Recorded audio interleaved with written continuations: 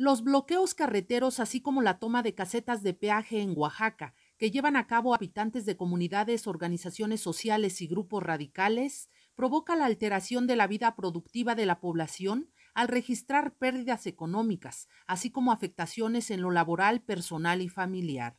El presidente de la Cámara Nacional de Comercio, Servicios y Turismo en el Estado, Ernesto Gutiérrez Jiménez, reprochó que las autoridades no actúen con la aplicación de la ley ante este tipo de protestas que alteran la vida social. Se dan pérdidas de momento, se dan pérdidas a corto y a largo plazo. Entonces, desgraciadamente sí es incuantificable y al final de cuentas, como decíamos, viene a repercutir veces en la, clase más desprotegida. Y al final de cuentas, incluso en el cierre de algunas empresas o de algunos negocios, o en ahuyentar las inversiones que se tenían previstas para nuestro Estado.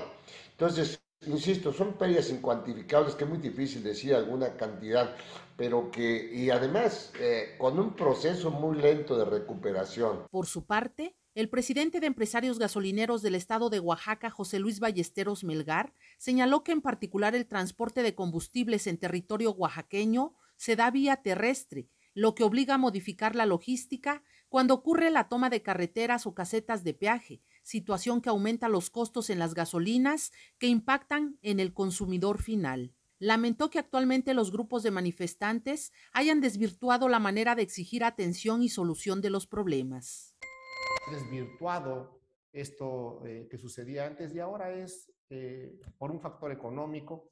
Ya no es solamente voy a, voy a alzar la voz para que me hagan caso, sino ahora es bueno, vamos a tomar un lugar donde podamos obtener recursos para nuestro proyecto, para nuestro tema, para lo que nos interesa. Y entonces se vuelve en algo donde se puede dejar de legitimar una toma de este tipo.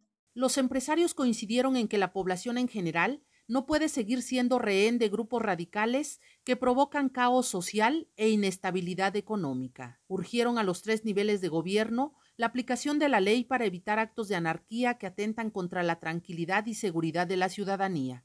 Mega Noticias, Yamilet Carranza.